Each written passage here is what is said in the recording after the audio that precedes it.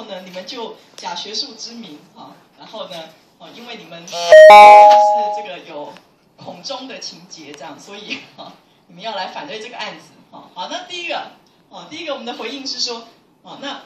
我们是有学术外衣，然后那好歹我们有学有术嘛，然后讲话也是有论据的哈。可是到底有没有成见呢？哦，这是不是一个公众议题？哈，但我们都很愿意在各种场合不断的去讲。哦，显然这是一个公众议题。哦，那是不是大家可以一起来讨论？哦，当然很好。我们比较担心的是说，台湾社会现在不讨论公共议题了。哦，我们不怕，其实是可以各用各种场合，或其实透过更多的个案，哦，激发大家来讨论这些议题。哦，所以完全可受公平。哦，那到底是不是一小群人？哈，那其实，在去年底的哈这个公民联署的时候呢，已经有三千多人哈联署反对这个旺中案。那包括台湾长期关心。媒体改革的美改社跟美观哈也都反对这个诟病案哈，所以到底为什么啊？为什么一个哦旺中集团他要买台湾的有线电视的系统？好，那我不知道各位知道有线电视的系统指的是什么？就是指的就是你们家可能每个月要交五百块或五百五十块给有线电视台，对不对？哦，这样你们家才能看得到有线电视的节目，好。你们付费的那一家公司，基本上就是有线电视的平台，好，好，那这样子各位可以想象它跟你们的关系有多密切了，对不对？好，就是说如果呢这个平台呢，哦，他今天不提供这个服务给你，各位就看不到有线电视。那当然可能有些人会想说，其实不看也蛮好，蛮清静的。好，那这样当然这个是另外一回事。哈，好，那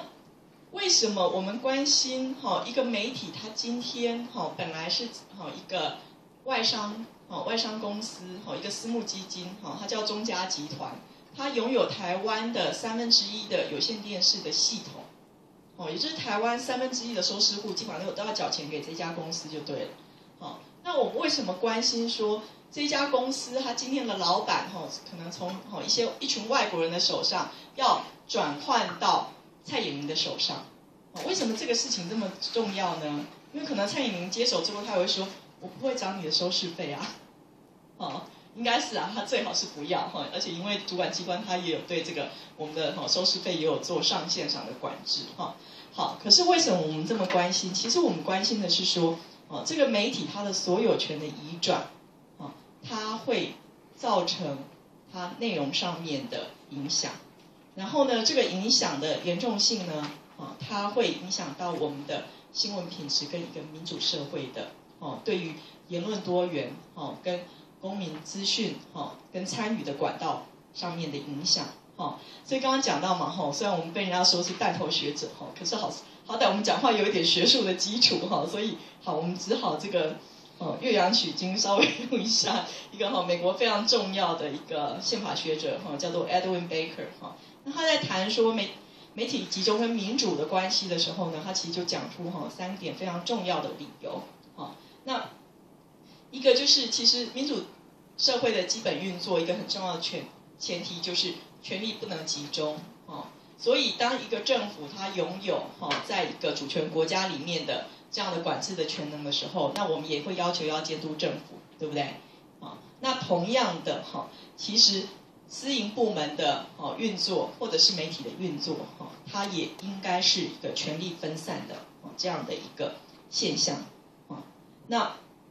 而且我们也呃，贝克他也认为说，那媒体所有权分散呢，他才能够有效的监督政府哈，避免权力的滥用啊。就假设今天如果台湾的媒体都归蔡英文一个人所有，然后台湾的执政党是哦国民党的政府哈，是马英九执政哈。那蔡英文只要说我爱台湾，我支持国民党这样子，哈，那全台湾就只有一种声音，OK，好，所以贝克他就认为说，即使媒体他也应该要所有权分散，哈，因为所有权分散，它会反映出来，至少你有很多不同的利益跟意见，才可以在啊媒体的内容上呈现，啊，那第三点，他也认为说，大型的媒体企业呢，它会过度的重视获利，哈，而因此牺牲了新闻品质跟公民的真正需要，哈，那等一下我我会透过这个望中。个案里面曾经出现的几个他们的新闻表现哈，去论证，啊，去印证贝克他所谈的这样的一个观点。好，那其实台湾的政府呢，终于在最新的一份人权报告里面也反映出，哦，针对媒体所有权集中的一个疑虑，哦，总统府才公布的国家人权报告书里面呢，他就有讲到说，财团以雄厚的资金跟各种方式不断扩大媒体版图，将会严重导致媒体所有权集中化的不良结果。哦，当然他没有讲，他非常的含蓄的说不良结果。那到底不良结果是什么呢？哈，那其实在我们非常多的研究的论述里面，哈，其实不断的去。反复哈去论证的，就是说，当一个媒体集团过大的话，它会威胁哈所谓的言论市场哈的多元，它会威胁这个媒体它在市场的上面的公平的竞争哈。那当然进一步的就会影响我们的消费者跟乐听大众的权益跟公共利益。好，那我们的国家人权报告书哈做了这样的一个原则性的宣示哈，可是到底我们的政策？哦，是不是真的保障了哈我们呃乐听人的收视的权益呢？我想这是一个非常非常大的一个 question mark 啊。好，那回到望中的这个个案哈，为什么台湾的呃学界，尤其是传播学界这么样的关心这个个案哈？那我们可能要先来看的是说，到底哈我们讲说旺中它会变成台湾的一个媒体巨兽，这个巨兽到底有多大？哈那首先，哈，这个购并案本身，它的市场的交易价格有七百六十二亿，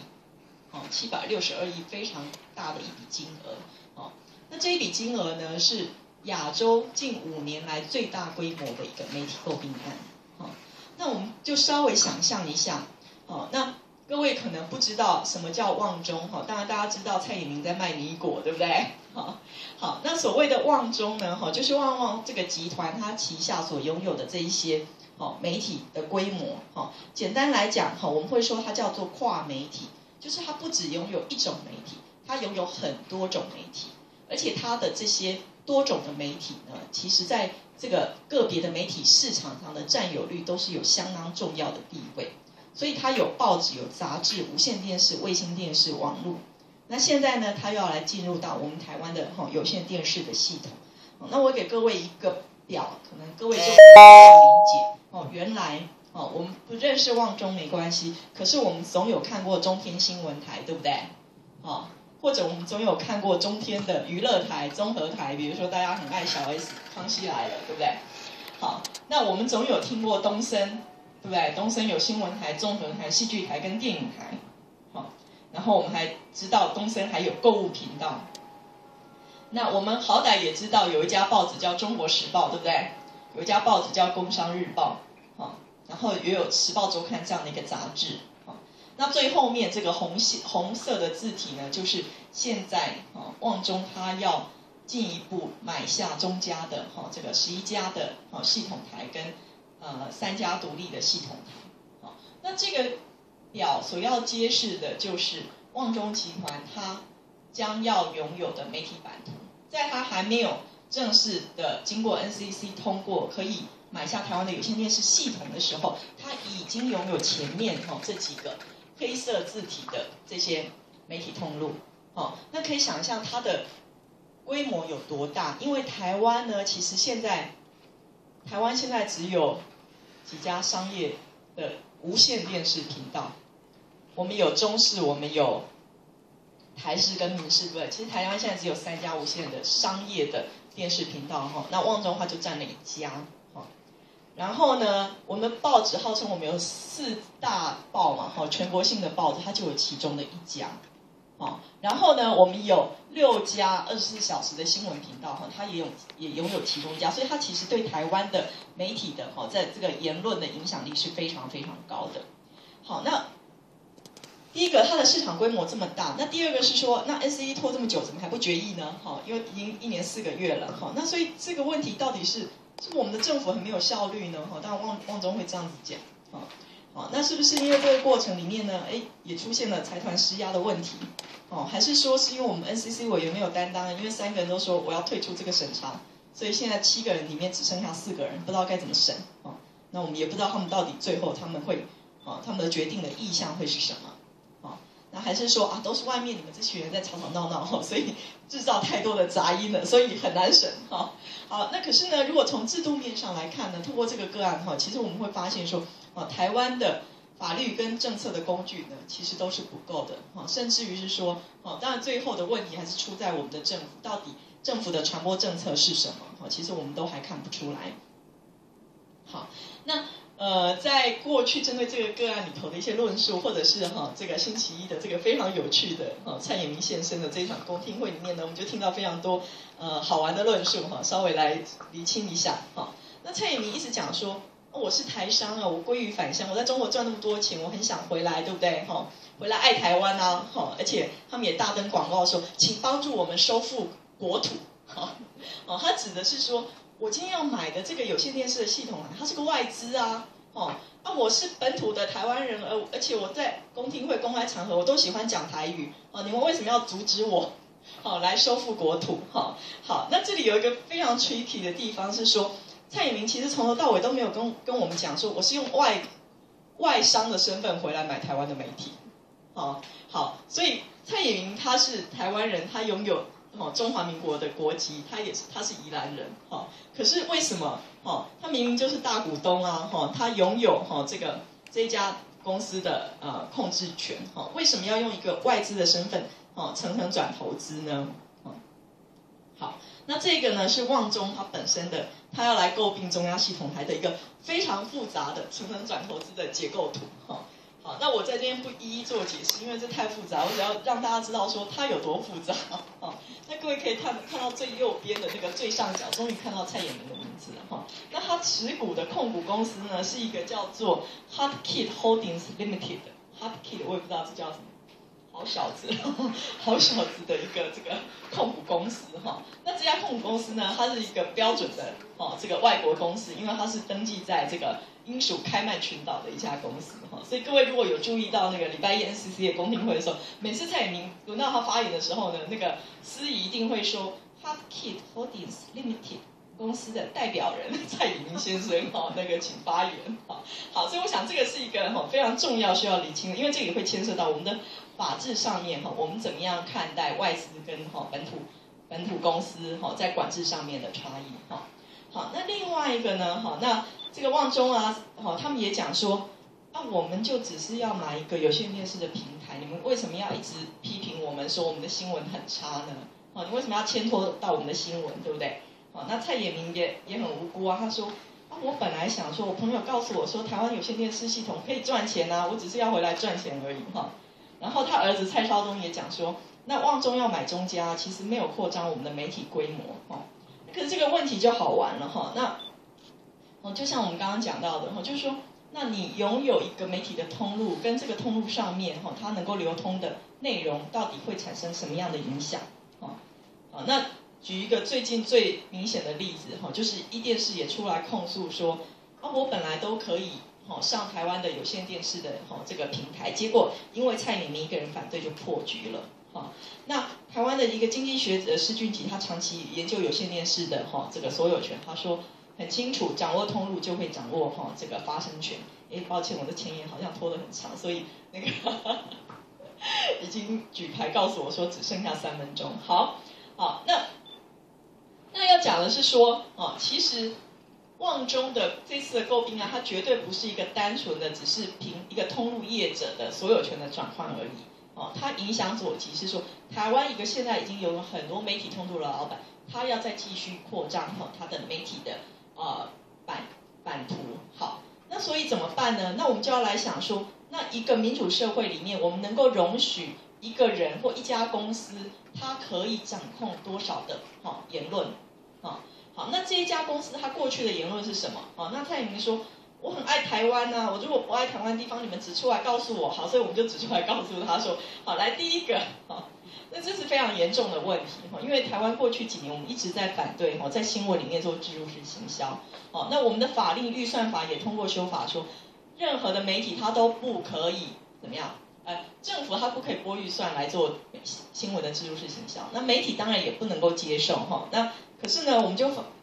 中国时报呢就一而再再而三的干嘛？那我不卖新闻给台湾政府，卖新闻给中国政府可不可以哈？所以他就一而再再而再的再而三的卖新闻，而且已经这个证据都已经哈被被抓出来也报道过了。那另外一个我们其实也非常关心的一个问题是说，好，你是媒体老板哈，然后你又说啊，其实我也不太懂媒体啊，我在台湾的时间也很少哈，可是哦，你的决定权绝对是绝对的哈，因为你今天要换掉一个总编辑，轻而易举哈，所以蔡明他自己呢，在华盛顿邮报专访里面，他也讲说，他换掉夏珍呢，是因为哦，那个中国时报那时候写 C 咖冒犯了陈云林哈，他说。冒犯了许多人而伤害到我哈，所以伤害到老板的利益的情况之下呢哈，他可以哈，就是说随时要这个集团里面的哈高层主管哈就可以呃调职。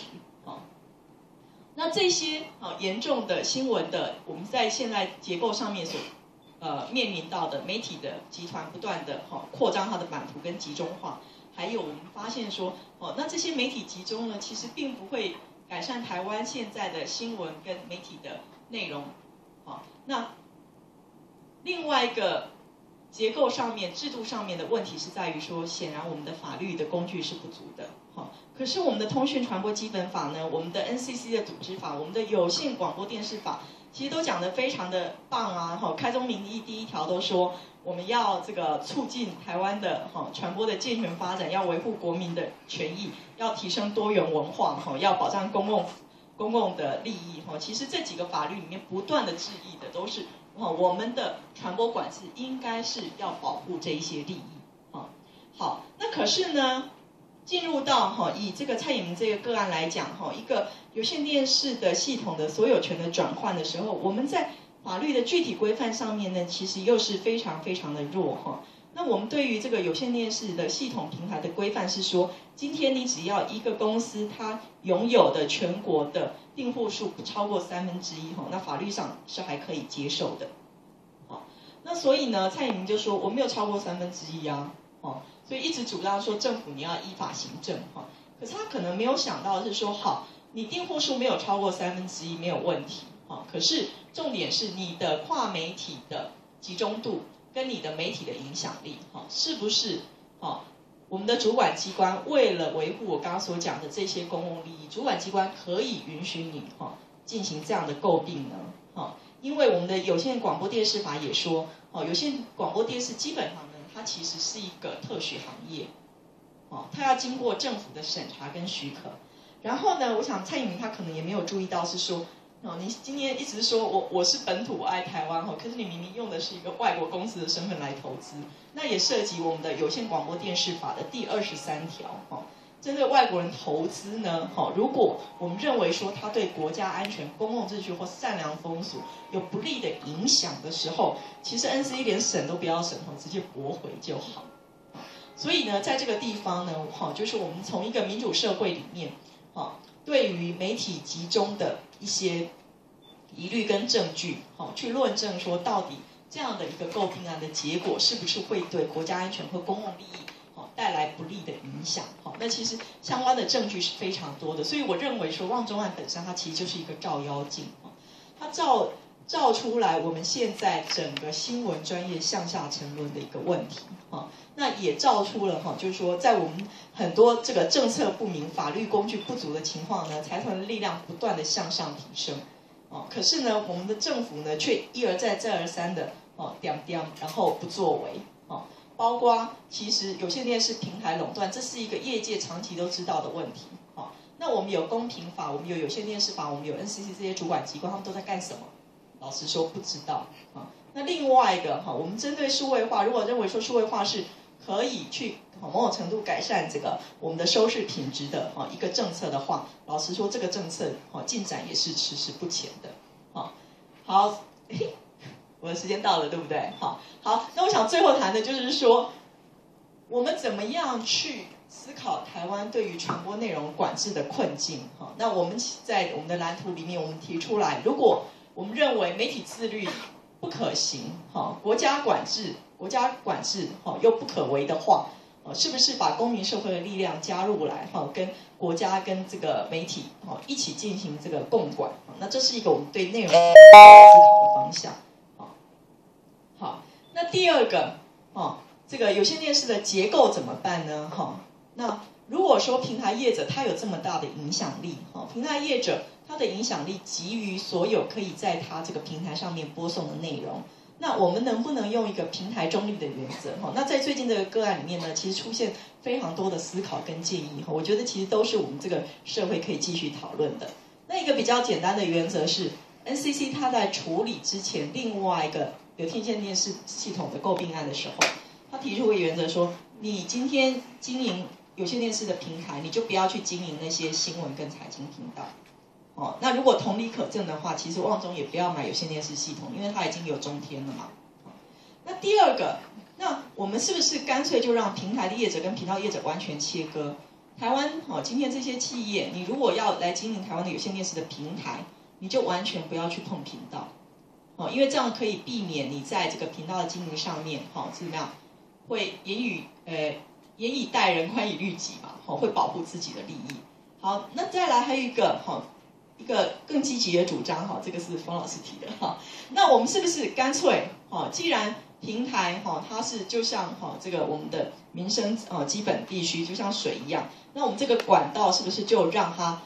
整定成一家？好，甚至于是说，那干脆我们国家就来经营。好，然后呢，你这个平台一方面平台中立，那第二个你享受垄断权利的人呢，就要负担相对的义务。哦，你要提拨基金来改善内容的品质，可是你不可以直接去影响，哦，还有控有这些内容的产业，好，那另外一个，在我们现在汇流的时代，是不是跟其他的，哦，这个媒体的平台可以去做公平竞争？因为我们现在有新的媒体平台，哈，一个是 MOD，或另外一个是数位的平台，好，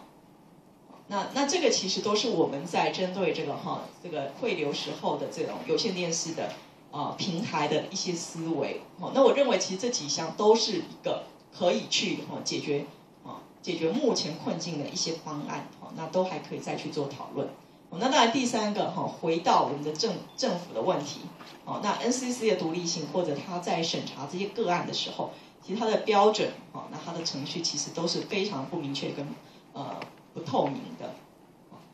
那甚至于其实我们现在讲说，如果我们讲说这个所谓的三分之一的这个市场占有率哈，我们的政府它是连最基本去做产业调查的能力跟权力都是有问题的。哦，所以今天蔡明说我没有到三分之一哈，可是其实最近很多证据不断出来说，你台南的系统跟你高雄的系统，其实你的占有率哦算一算加上来其实是超过三分之一的。